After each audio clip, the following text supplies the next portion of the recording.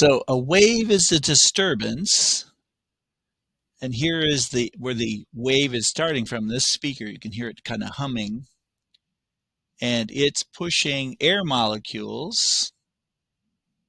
But you notice that the red molecules, the red ones are not moving. They're not moving to the end. So the particles are just are just moving hitting each other and then hitting something else and then they stay. They just move back and forth a little bit.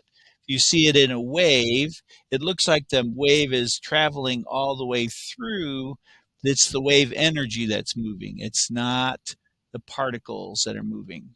So the energy is moving, not the particles.